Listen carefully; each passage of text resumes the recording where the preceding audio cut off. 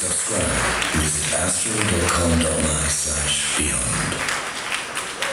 There you go.